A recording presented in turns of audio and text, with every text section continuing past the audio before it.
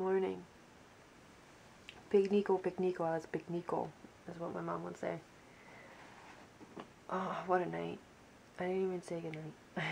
it's just such a long, long night. I got lost in that parking garage trying to get out. It was hilarious. Just couldn't figure out why there wasn't just a direct exit. Didn't realize you had to put the ticket in the machine to get the gate to open to go out. So I'm gonna pack up all my crap and head home. So I will talk to you later when I'm on the road again.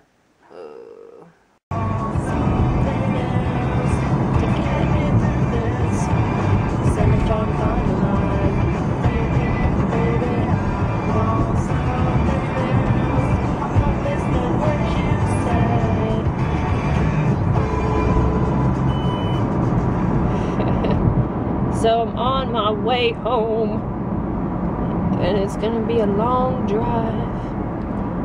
So I'm in Ohio. Yay! See? You can't see it. But there's a sign that says welcome to Ohio. Yay! I only got a couple hundred more miles to go. What a trip it's gonna be. So on my way home. I'm on my way home. So four hours and I'll be home and then I'm gonna have to do all kinds of other stuff when I get home. Like food shopping and all kinds of fun stuff and it's like almost one o'clock and I don't really want to do any of that so let's just make it through the trip home and then we can decide what other fabulous things we want to do so yep Say good night, Baxter. Say good night.